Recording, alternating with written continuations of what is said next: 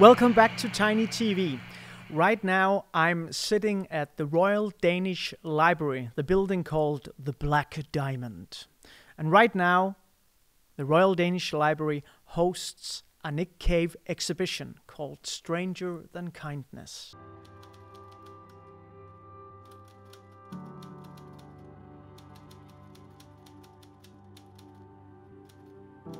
You were born and you build yourself piece by piece.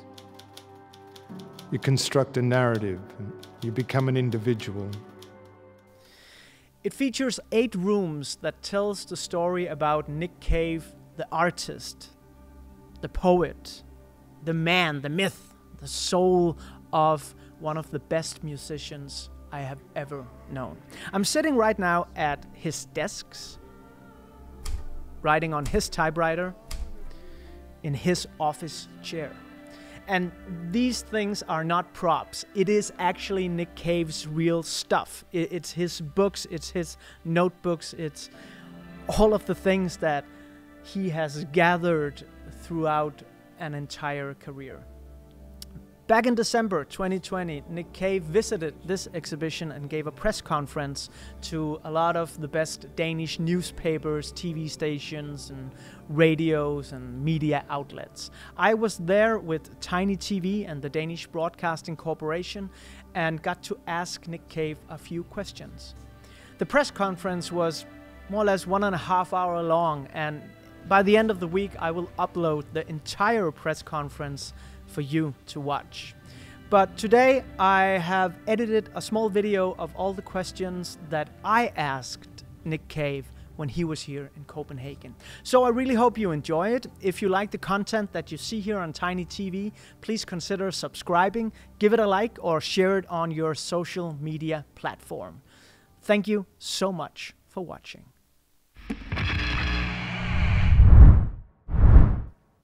Yeah. Anyone else? Yeah. Thank you. Uh, I'm Anders from the Danish National Radio, the radio channel P6 Beat. In 2013, we made a six hour long Nick Cave special covering everything from The Boys Next Door and up until Push the Sky Away. And back then, we described you with all the usual music cliches the dark introvert lord of poetry and song. And since then, a lot of things has happened. You opened the Red Hand Files in 2018. Uh, you've made concerts where you are a moderator and audience can ask you questions. And now we're here in Copenhagen for this grand exhibition. Why have you suddenly been so eager to open up Pandora's box and show your life in the way you've been doing the past five years? Well, first of all, I'm still dark. I've just opened that up a little bit. I have a tendency to, to darkness uh, that, I, that I try and do something about, but it doesn't, doesn't really work. Um, so that, that kind of, um, you know, once again, it's, um, well, vari various things happened. Various things have happened to me. Once, uh, in, in all due respect to everyone in this room, uh, I, I, I did an interview after my son died, and, and I just couldn't. Uh, I, it, it, was with a friend, actually, and it was a good interview, and, but, it, but it just felt in some way diminishing. You know, uh, he wrote it very beautifully and sensitively, but there was something about the experience that felt diminishing in some kind of way. Uh, and, um, and so I just stopped doing interviews. It was an incredible thing. I can't, can't tell you how liberating it was to suddenly not have to talk to the press. Um, as much as I love you all, each one of you, um, there was something um, where I could take control of, of what was written about me and what was said about me. Uh, and, and I did that through the Red Hand files. So that was talking directly and answering directly fans' questions. Um, and these in conversation events. And this was just a further cementing of a kind of connection uh, the, uh, with my audience that became um, it ceased to be about, it became, ex- extraordinary, it became very, very important to me, the Red Hand Files, um, as a way to feel connected um, and not just float away. Um, and they're, you know, I get like maybe 100 a day, questions a day, or 70 or 80 or something like that. And I read them every day. It's a huge undertaking, the Red Hand Files. And, and to write this one letter, even though it's a small piece of writing, takes a lot of thought and effort. But it, it's, it's this extraordinary portal that I have into the minds uh, of my uh, fans, let's say.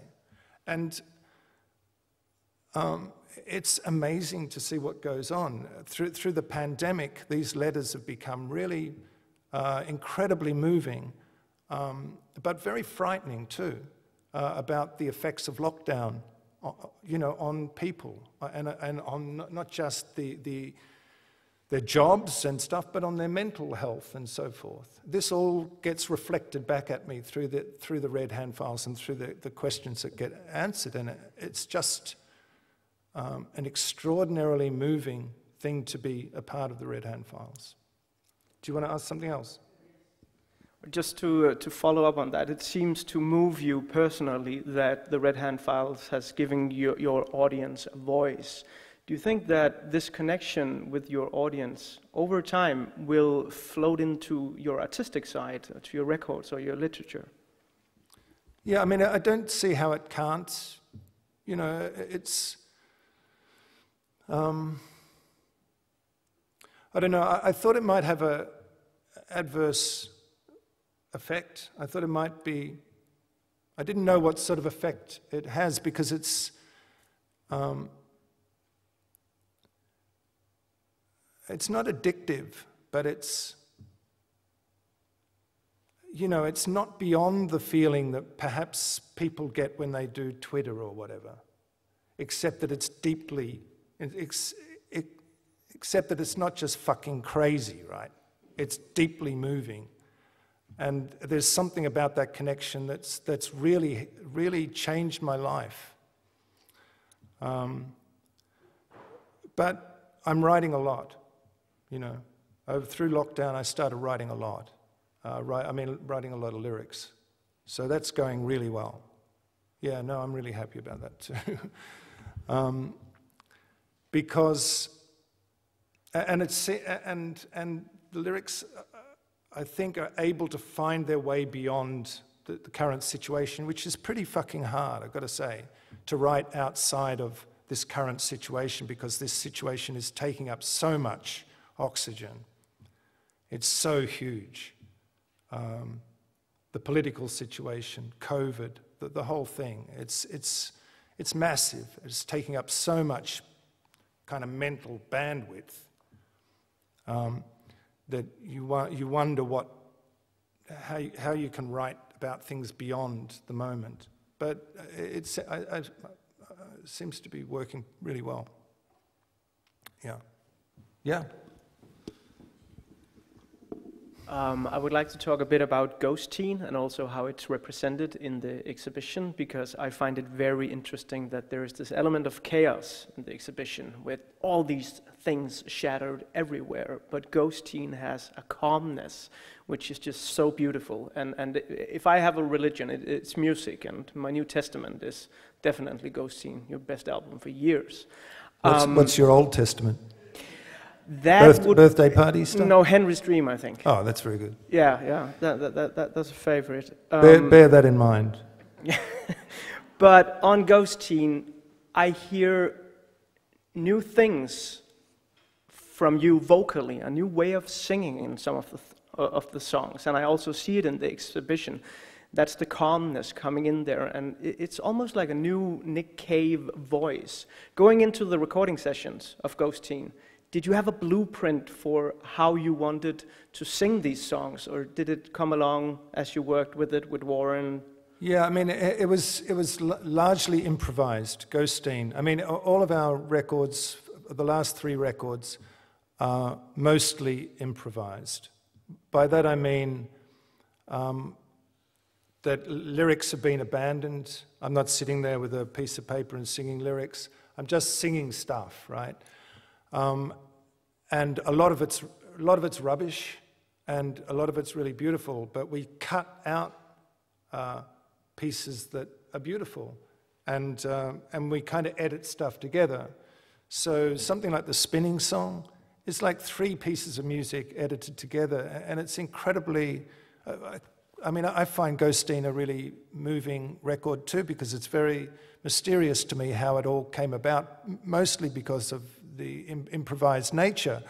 But songs are literally, there's a little bit of me singing a song about Elvis, and we chop that into And I Love You, that gets repeated over and over, which is just some other bit from somewhere else.